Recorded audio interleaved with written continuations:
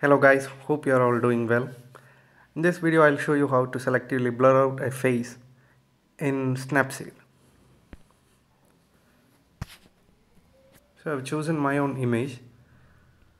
I'll click the share button, Snapseed. Go to tools, choose brush. I'm sorry, cancel. Go to tools, choose lens blur. So I want the face not to be in focus. So I'll just keep it there. Maybe increase the blur a little bit. Click OK. But what I want to do is just blur out my face. Everything else needs to be in focus. So because it will be very helpful in situations where there are many people in a photo and you want to blur out one person's face. So what I'll do is I'll go to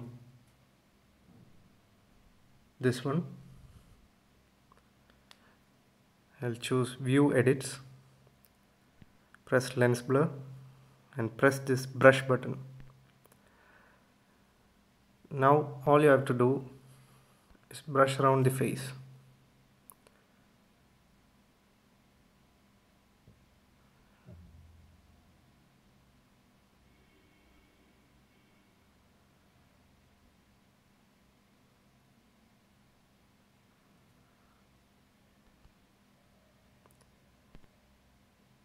see you can already see that.